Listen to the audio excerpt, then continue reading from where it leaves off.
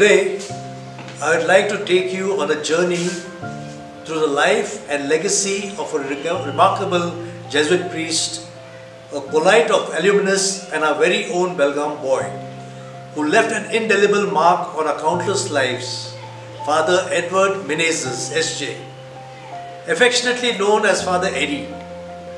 Though he left us 57 years ago, his memory continues to inspire Paulite alumni far and wide. Father Eddie was an inspirational force at St. Paul's. He urged us to push our limits and exceed. His mission was simple fostering growth, nurturing talents, and aspiring to be the best version of ourselves.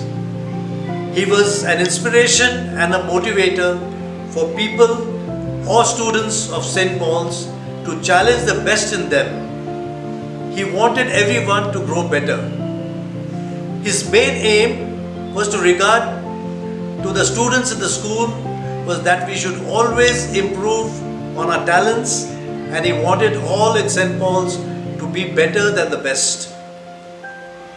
Every time the name Father Eddie crosses my lips, a wave of nostalgia washes over me.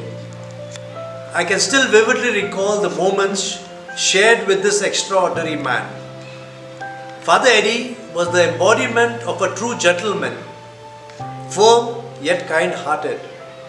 I had the privilege of being in our school band under his guidance. Those days, playing the cattle drum and later the bass drum remain etched in my memory. Father Eddie's fervor for our school band was palpable. He spared no effort in personally overseeing our practices and meticulously designing our formations for the passing out parade. His love for sports, particularly football, was equally profound.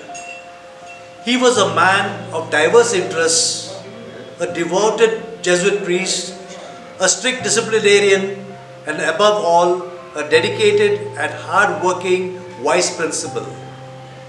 During my high school days, Father Eddie was a teacher teaching us English. His dedication to education was unparalleled. I recall the challenge he set forth, a reward for anyone who could outperform the top student in the class. This tale is best exemplified by Mr. Aureo Pereira, a senior Paulite.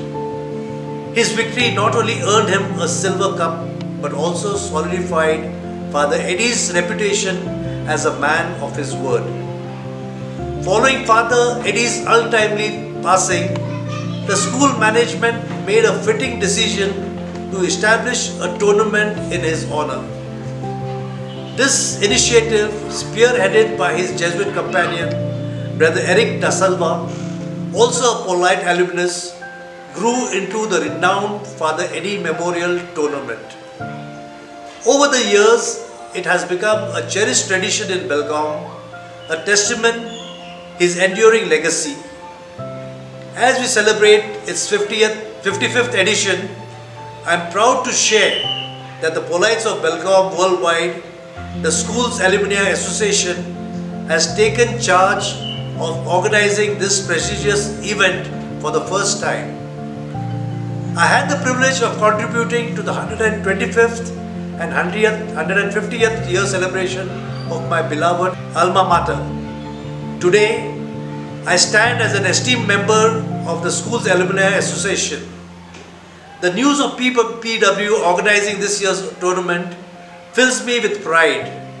With a team of experienced and dedicated individuals, I am confident it will be a resounding success. My heartfelt wishes go to the school and the organizing committee, accompanied by blessings from above. In closing, let us remember Father Eddie not just as a vice principal or a teacher, but as a beacon of inspiration. His passion, commitment, and unwavering integrity continue to shape lives even today. So, my fellow Paulites, let our spirits be lifted as we continue to carry forward his legacy. As Father Eddie once said, Cheer, boys, cheer, and let all continue to put on the armor of light.